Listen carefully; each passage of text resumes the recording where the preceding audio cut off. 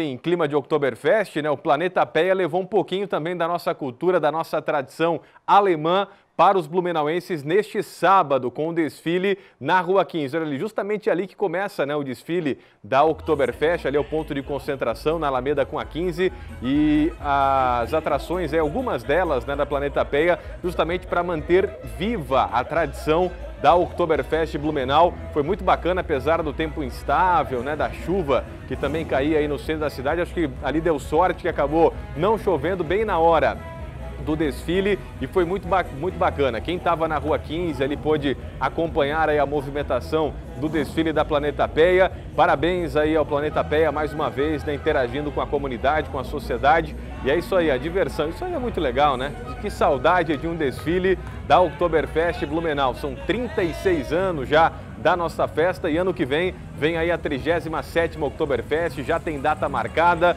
já tem as bandeirolas aí, exemplo na Rua 15 ali marcando a data justamente da festa do ano que vem. O pessoal da Guarda de Trânsito deu todo o apoio também, que eu acompanhei aí o pessoal da Guarda trabalhando também junto, né, no sábado aí com a Planeta Peia. Parabéns mais uma vez a toda a Planeta Peia por essa atividade aí realizada no sábado, desfile no clima da Oktoberfest, mantendo viva essa chama, essa tradição aí da nossa Oktober Blumenau.